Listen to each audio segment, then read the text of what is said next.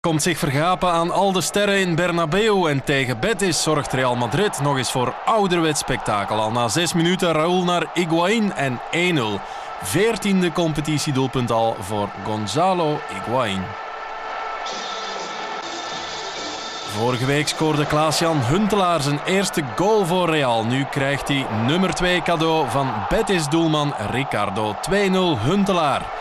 Zweven, dat kan hij wel, die Ricardo, maar de bal vasthouden, dat is nog iets anders.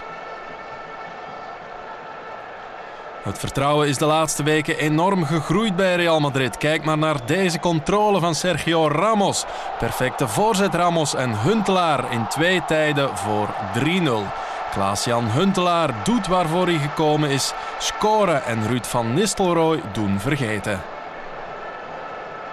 Betis helemaal weggespeeld en pas op het half uur een eerste tegenprik. Een stevige prik is dat van Ricardo Oliveira. Het staat 3-1.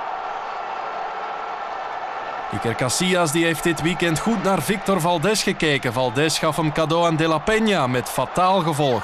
Casillas geeft hem aan Oliveira zonder gevolg. 3-2, het had een hele andere wedstrijd geweest. Maar nu staat het plots 4-1, de onvermijdelijke Raúl. Een goal die wat doet denken aan zijn allereerste voor Real Madrid. Voorzet van op links in één tijd overgenomen.